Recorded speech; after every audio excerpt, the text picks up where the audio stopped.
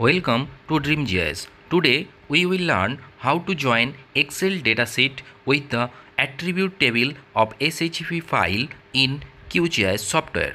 First, add a SHP file and open the attribute table.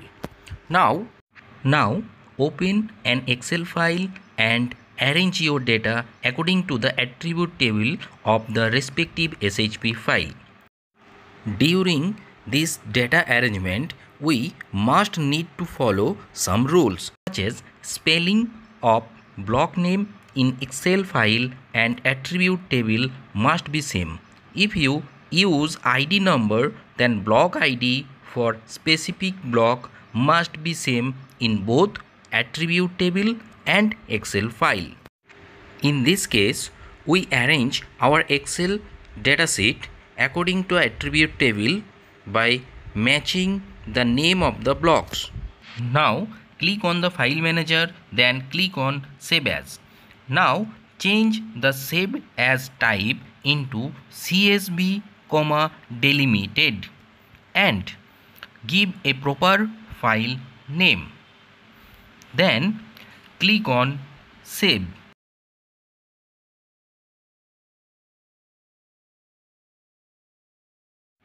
Now click on save then click on ok then click on no and then click cancel.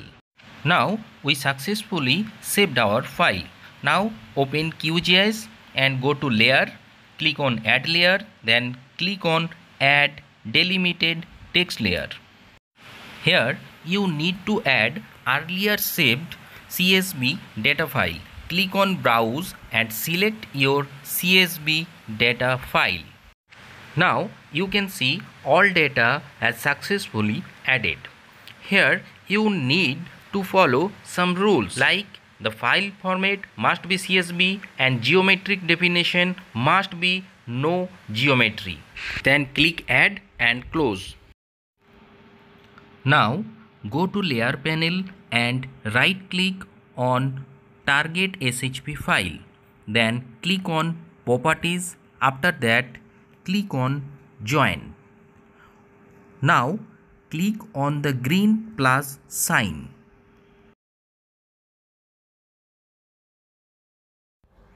Here you need to add or select the layer very carefully.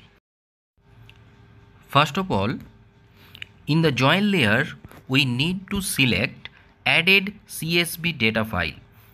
In the join field, we need to select the matched field in the CSV file which is same to a field in the attribute field.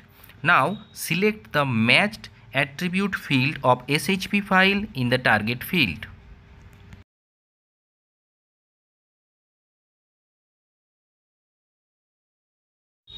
Now click on OK then click on apply.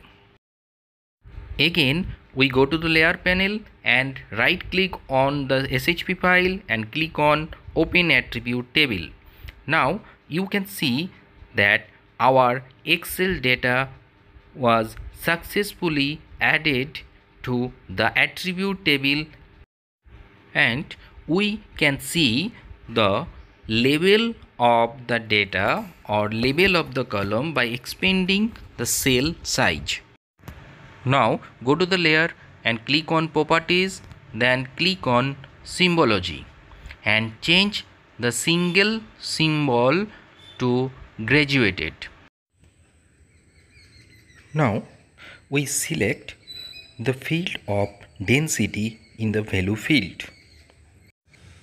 We change the precision level and click on classify to create classes and then change the class type and the mode of classification then click on apply and ok thank you for watching this video